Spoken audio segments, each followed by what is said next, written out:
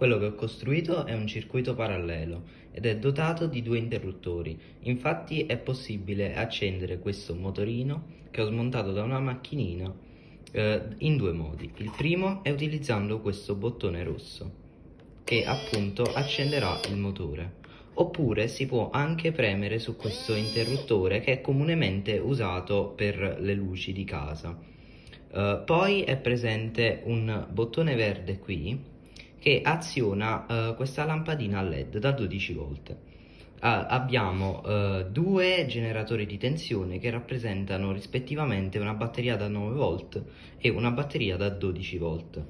Uh, come potete vedere si accende la lampada led e si spegne e il circuito è dotato anche di una lampada di prova che serve a testare il funzionamento del circuito. Uh, infatti se si collega la lampada di prova a, um, a, un filo di rame qualsiasi e poi si va a posizionare la lampada di prova sul generatore di tensione, si vedrà che la lampadina si accende, per cui il circuito si chiude.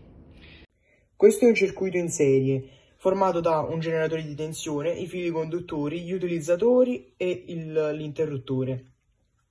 La corrente passa dalla batteria ai fili conduttori e eh, che vengono eh, fermati, vengono bloccati dal, dall'interruttore che in questo momento è in posizione aperta e quindi non lascia passare la corrente per i fili che poi eh, che quindi ehm, non accendono gli utilizzatori. Se invece io premo l'interruttore, esso va in posizione aperta e quindi eh, lascia passare la corrente che accende gli utilizzatori. Questo è un altro circuito in serie, ma con la differenza che ha una batteria più grande e da 4,5 volt e gli, gli utilizzatori sono diversi. Questo è l'interruttore e quando viene premuto funziona esattamente come l'altro, cioè gli utilizzatori vengono accesi.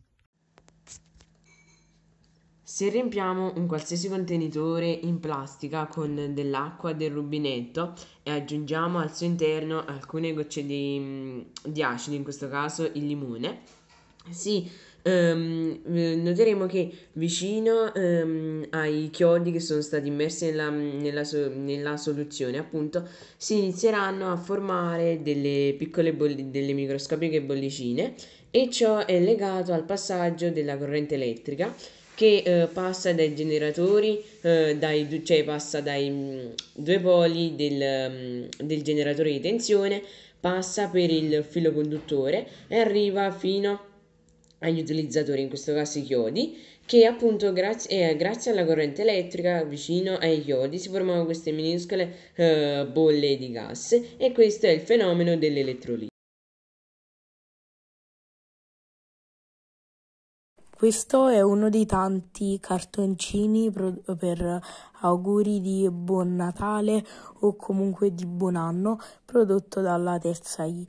Um, e, uh, questo cartoncino è uh, comunque uh, formato da una semplicissima lampadina LED che con due cavi di rame che uno sono collegati al polo negativo della batteria e all'altro uh, viene fatta una specie di molla um, che in modo quando si chiuda il um, cartoncino può fare um, come vedete può fare contatto e si accende uh, diciamo la fiamma del camino che uh, in questo caso um, abbiamo deciso di uh, disegnare un, un camino natalizio. Quest'altro lavoro è uh, molto simile a quello di prima, soprattutto per il funzionamento, poiché hanno mm, la stessa pilla LED, cambia solo colore e poi hanno i due fili di rame che vanno uh, con, a contatto con la batteria in modo che uh, chiudendo fa, faccia contatto e uh, si accende um, la stella dell'albero di Natale, anch'esso per uh, auguri uh, di buon Natale o comunque di buon anno per periodo natalizio. Uh, e qui, come possiamo vedere, la pagina è proprio vuota per scrivere i più sentiti auguri. Questo è un bigliettino che si illumina e quando si raggiunge una certa angolazione il bigliettino si illuminerà e uh, attiverà una canzoncina. Infatti c'è un interruttore qui al centro, come potete vedere, e uh, quando raggiungo questa angolazione uh, l'interruttore si accende e inizia a cantare perché c'è una cicalina qui all'interno uh, una cicalina che uh, registra i suoni, uh, ho registrato la canzone di Buon Natale, una batteria qui e un filo conduttore. Un circuito abbastanza semplice e molto carino.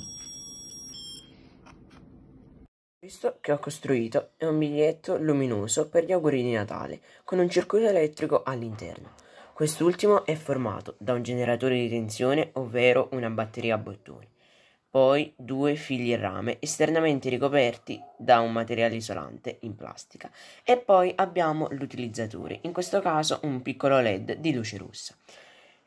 Il biglietto luminoso entra in funzione quando il filo in rame entra in contatto con la batteria a bottone e provoca l'accensione del pupazzo di neve.